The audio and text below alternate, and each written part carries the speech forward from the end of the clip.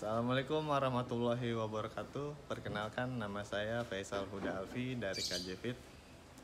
Pada kesempatan yang berbahagia ini saya ingin memperkenalkan produk kami. Ya, bisa dilihat sini.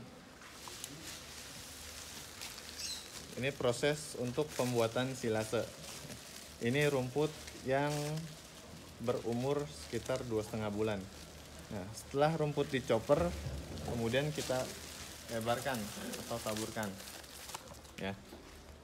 Cara ini untuk mereka atau untuk rumput terkena angin dan untuk mengurangi kandungan kadar air yang ada di rumput tersebut.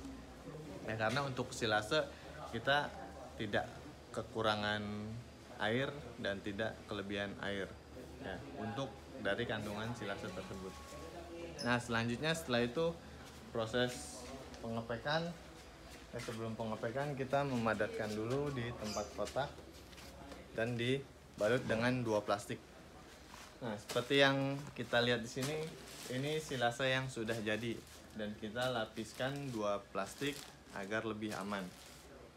Nah, untuk berat satu tempat atau satu pack ini berkisar 20 kg. Ya. Dan uh, untuk ketahanan dari silase ini sekitar kurang lebih enam bulan lamanya. Asalkan plastik atau karet tidak terkena angin masuk eh tidak terbuka. Nah setelah itu dia bisa bertahan enam bulan lamanya. Sebelum enam bulan pun bisa digunakan untuk pakan ternak.